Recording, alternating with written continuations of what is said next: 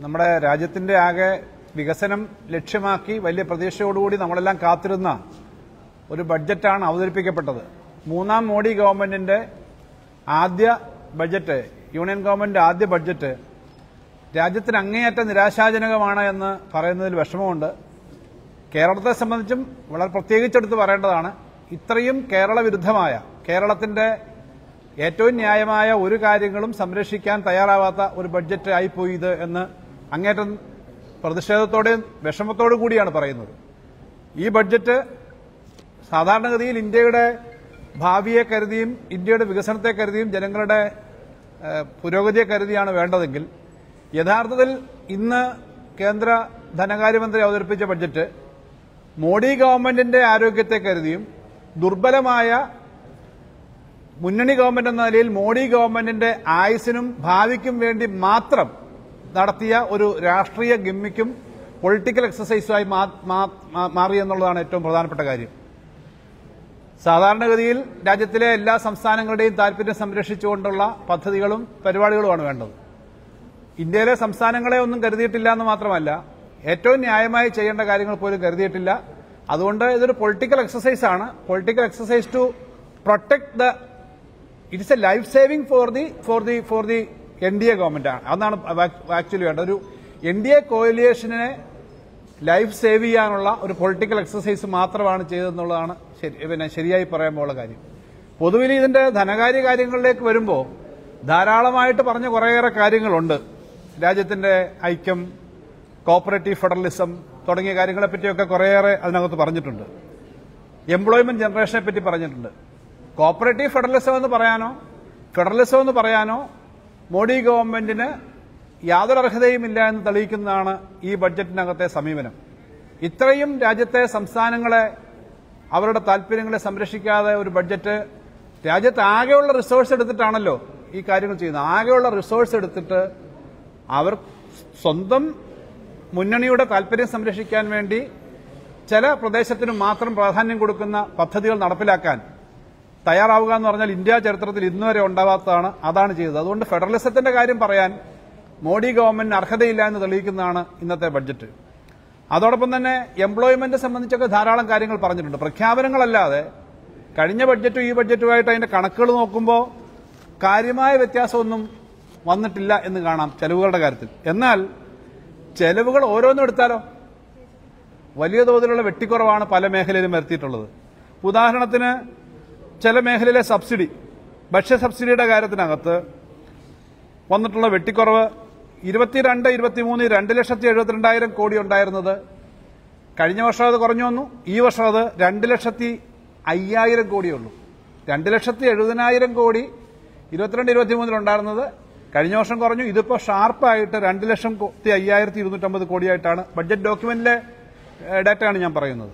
അതുപോലെ തന്നെ ഈ ഇവിടെ മറ്റ് ചില മേഖലകളിൽ രണ്ട് ലക്ഷത്തി അമ്പത്തി ഒന്നായിരത്തി ചില്ലാനം കോടി ഉണ്ടായിരുന്ന വളത്തിന്റെ സബ്സിഡി. അത് വെട്ടിക്കുറച്ചിട്ടുണ്ട്. അത് ഒരു ലക്ഷത്തി അറുപത്തിനാലായിരം കോടിയായിട്ടുണ്ട്.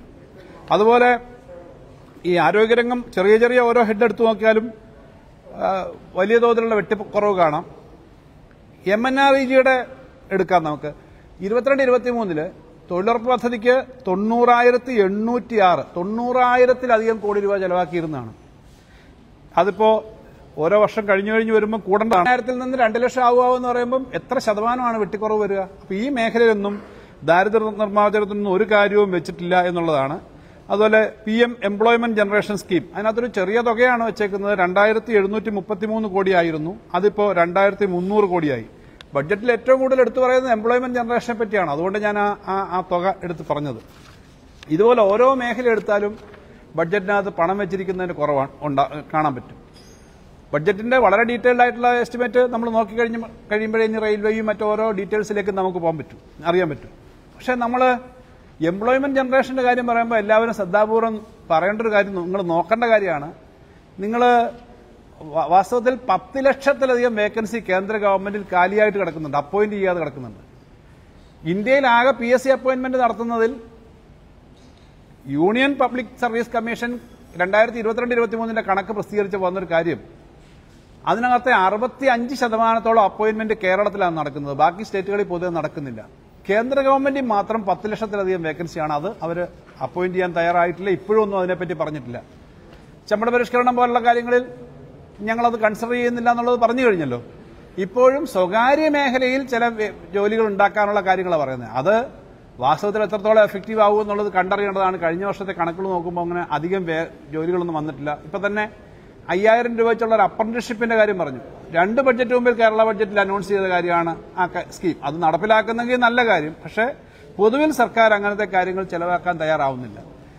വാസ്തവത്തിൽ ഇത്രയും ജനവിരുദ്ധമായ നിരാശാജനകമായ രാജ്യത്തിന്റെ പുരോഗതിക്ക് സഹായകരമല്ലാത്തൊരു ബഡ്ജറ്റ് അവതരിപ്പിച്ചപ്പോൾ നമ്മുടെ സംസ്ഥാനത്തെ ഇത് വലിയ തോതിൽ ബാധിക്കുന്നുണ്ട്. നമ്മൾ പറഞ്ഞ ഞങ്ങളൊരു പാക്കേജിന്റെ കാര്യം പറഞ്ഞു. അത് വെറുതെ ഒരു കാര്യം പറഞ്ഞല്ല ഇന്ന് ബഡ്ജറ്റ് അവതരിപ്പിച്ചിട്ട് ഡോക്യുമെന്റിന്റെ ഭാഗമായിട്ട് രണ്ടാമതോ മൂന്നാമതോ പ്ലേസ് ചെയ്ത പേപ്പർ സാധാരണ F R B M act അനുസരിച്ചുള്ള കണ്ടീഷൻസ് ആണ്. ആ എഫ് ആർ ബി എം ആക്ടിനകത്ത് പറഞ്ഞിട്ടുള്ള തുക പോലും കേരള സംസ്ഥാനത്തിന് എടുക്കാൻ സമ്മതിക്കാത്ത ഒരു കാര്യമാണ് ഞങ്ങൾ നേരത്തെ പറഞ്ഞത്. അതുകൊണ്ട് തന്നെ മറ്റ് ഞാൻ നേരത്തെ പത്രസമ്മേളനത്തിൽ നിങ്ങളോട് പറഞ്ഞു ബീഹാറും അതുപോലെ തന്നെ ആന്ധ്രയും പ്രത്യേക പാക്കേജ് ചോദിക്കുന്നുണ്ട്. കേരളവും പ്രത്യേക പാക്കേജ് ചോദിച്ചു. അവർ ചോദിച്ചതുകൊണ്ടല്ല. അവർ ചില വികസന കാര്യങ്ങൾക്ക് കൂടുതൽ വേണമെന്ന് പറഞ്ഞ. ഞങ്ങളോ? നമുക്ക് തരാനുള്ളതിൽ വെട്ടിക്കുറയ്ക്കപ്പെട്ടിട്ടുള്ളത് കണക്ക് സഹിതം പറഞ്ഞ ആ പണം ഒരു പാക്കേജായിട്ട് വേണമെന്ന് പറഞ്ഞു. ഇരുപത്തിനാലായിരം കോടി. അതിനെപ്പറ്റി മിണ്ടിയില്ല. ആകെ ഈ രണ്ട് സ്റ്റേറ്റുകളുടെ കാര്യമേ പറഞ്ഞിട്ടുള്ളൂ. പ്രധാന പല പദ്ധതികളും പറഞ്ഞല്ലോ. അതിനകത്ത് ഒരു നാഷണൽ ഹൈവേ പണിയുന്നത് പോലെയും ഒരു പ്രധാനപ്പെട്ട ആശുപത്രി പണിയുന്ന പോലെയും പ്രധാനമല്ലേ? കേരളത്തിലെ വിഴിഞ്ഞ പദ്ധതി വിഴിഞ്ഞമെന്ന് പറഞ്ഞാൽ ഇന്ത്യയിലെ ഏറ്റവും വലിയ പോർട്ട. ഒരു രൂപ അതിനായിട്ട് എന്തെങ്കിലും ഒരു പാക്കേജ് വെച്ചോ? കേരളം ഇന്നിപ്പോ ദുബായിലും സിംഗപ്പൂരിലും മലേഷ്യയിലും ഷാങ്ഹായിലും പോകുന്ന നമ്മുടെ നാട്ടിലെ ഫീഡർ വെസലുകൾ ഇടത്തരം കപ്പലുകൾ വിഴിഞ്ഞത്തേക്ക് വന്ന് സാധനം എടുത്തുകൊണ്ടിരിക്കുകയാണ് അത്രയും വലിയൊരു തുറമുഖമാണ് ഇവിടെ ഡെവലപ്പ് ചെയ്തു വരുന്നത്. ഒരു പണം അതിന് വെച്ചിട്ടില്ല. ഇത്തരം കാര്യങ്ങളൊന്നും വെച്ചിട്ടില്ല. ഏറ്റവും ചെറുത് പോട്ടെ ഒരു എയിംസ് എത്ര വർഷമായിട്ട് നമ്മൾ ആവശ്യപ്പെടുന്നതാണ് സ്ഥലം ഉൾപ്പെടെ മാറ്റിയിട്ടു അതിന് എന്തെങ്കിലും കാര്യം പറഞ്ഞു. ഇനിയിപ്പോ ബഡ്ജറ്റിന്റെ ഡീറ്റെയിൽസ് പിന്നെ ചെയ്യാൻ പറ്റുമോ എന്നെല്ലാം പറയുമെന്ന് എനിക്കറിയില്ല. ഒന്നും പറഞ്ഞിട്ടില്ല.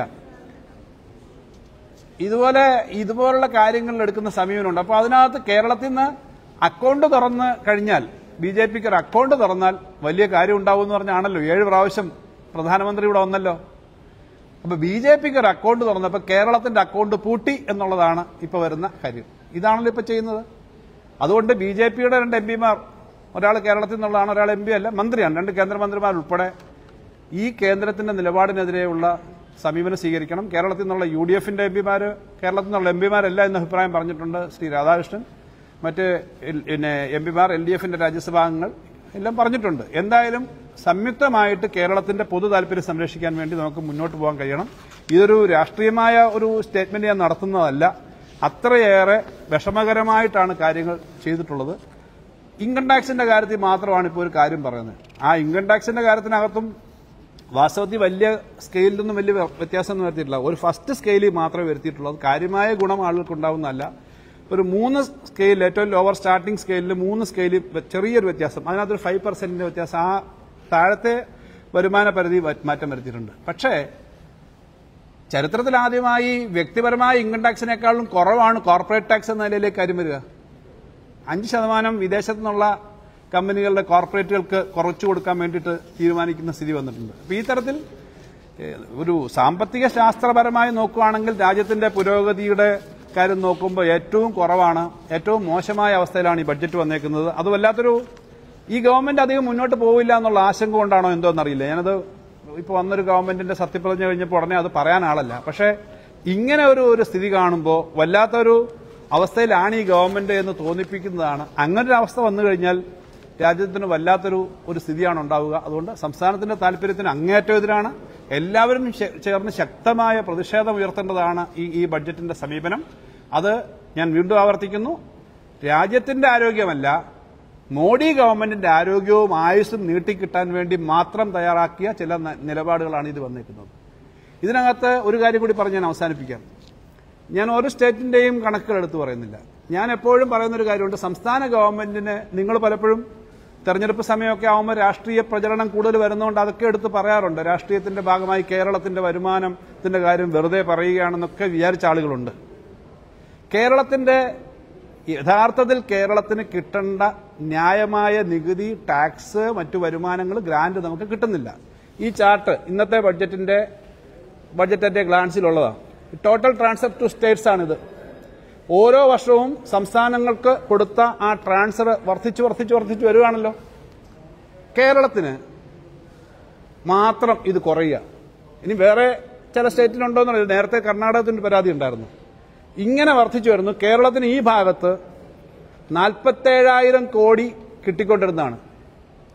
അപ്പൊ എല്ലാം ഇവിടെ നാൽപ്പത്തേഴായിരം കിട്ടി ഇങ്ങനെ മേളോട്ട് പോകേണ്ടതിന് പകരം ഈ നാൽപ്പത്തേഴായിരത്തിന് പകരം താഴോട്ട് വന്ന് മുപ്പത്തി മൂവായിരം കോടി രൂപ ഗ്രാന്റ് കിട്ടിക്കൊണ്ടിരുന്നത് ഈ വർഷം പതിനൊന്നായിരം കോടിയേ ഉള്ളൂ. ഗ്രാന്റും കഴിഞ്ഞ വർഷത്തെ പതിനൊന്നായിരം കോടിയും ടാക്സും കൂടെ ചേർത്താൽ മുപ്പതിനായിരം മുപ്പത്തൊന്നായിരം മുപ്പത്തിരണ്ടായിരം കോടിയുള്ളൂ നാൽപ്പത്തേഴായിരം കോടി നാല് വർഷം മുമ്പ് കിട്ടിക്കൊണ്ടിരുന്നത് ഇങ്ങനെ കുറയുകയാണ്. ഞാൻ പറഞ്ഞ ഈ കണക്ക് വെച്ചിട്ടാണ് ഞാൻ പറയുന്നത്. ഇരുപത്തൊന്ന് ശതമാനമാണ് കേരളത്തിന്റെ ആകെ റവന്യൂ ചെലവിന്റെ. കേരളത്തിന്റെ ആകെ ചെലവിന്റെ ഇരുപത്തൊന്ന് ശതമാനമേ ഇന്നിപ്പോ കേന്ദ്രത്തിൽ നിന്നും നമുക്ക് തരേണ്ട വിഹിതത്തിന്റെ ഭാഗമായി തരുന്നുള്ളൂ. വളരെ വലിയ കുറവാണ്. ബീഹാറിന് എഴുപത്തൊന്ന് ശതമാനമാണ് കിട്ടുന്നത്. യു പിക്ക് നാൽപ്പത്തിയേഴ് ശതമാനത്തിലധികമാണ് കിട്ടുന്നത്. ഇന്ത്യൻ ശരാശരി നാൽപ്പത്തേഴ് നാൽപ്പത്തെട്ട് ശതമാനമാണ്. കേരളത്തിന് മാത്രം ഇരുപത്തൊന്ന് ശതമാനമേ കിട്ടുന്നുള്ളൂ എന്നുള്ളത് ഞാൻ പറയുന്ന ഒരു കണക്കല്ല. റിസർവ് ബാങ്ക് ഓഫ് ഇന്ത്യയുടെ state of state finances report കഴിഞ്ഞ വർഷം പ്രസിദ്ധീകരിച്ച റിപ്പോർട്ടിനകത്തെ കണക്കാണ് ഇരുപത്തൊന്ന് ശതമാനം. അതുകൊണ്ട് ഇതിനെയെല്ലാം കൂടുതൽ കൂടുതൽ അഗ്രവേറ്റ് ചെയ്യുന്ന തരത്തിലൊരു സമീപനമാണ്. അതുകൊണ്ട് അങ്ങേയറ്റം പ്രതിഷേധാർഹമായ ഒരു സമീപനമാണ്. കേന്ദ്ര ഗവൺമെന്റ് ഈ നിലപാട് തിരുത്തുകയും സംസ്ഥാനങ്ങൾക്ക് നൽകാനുള്ള വിഹിതം നൽകുകയും വേണം എന്നുള്ള കാര്യം പറയാൻ വേണ്ടിയിട്ടാണ് ഈ പത്രസമ്മേളനം വിളിച്ചത്. ബാക്കി വിശദമായ കാര്യങ്ങൾ നിങ്ങൾ ഓരോ മേഖലയിലും നോക്കി വാർത്തകളിൽ വരും കൊടുക്കും. അത് നമ്മുടെ സംസ്ഥാനത്തിനും രാജ്യത്തിനും വേണ്ടിയിട്ടാണ് നമ്മൾ പൊതുവെ പറയുന്നത്. രാജ്യത്തിന്റെ ഫെഡറലിസം സംരക്ഷിക്കുക. എല്ലാ സംസ്ഥാനങ്ങൾക്കും ഈ രാജ്യത്ത് ന്യായമായൊരു അർഹതയുണ്ട്. എല്ലാ ജനങ്ങൾക്കും അവർക്ക് അർഹമായ പരിഗണന കിട്ടണം എന്ന ബോധത്തോടു കൂടി ഭരണാധികാരികൾ മുന്നോട്ട് പോകണമെന്ന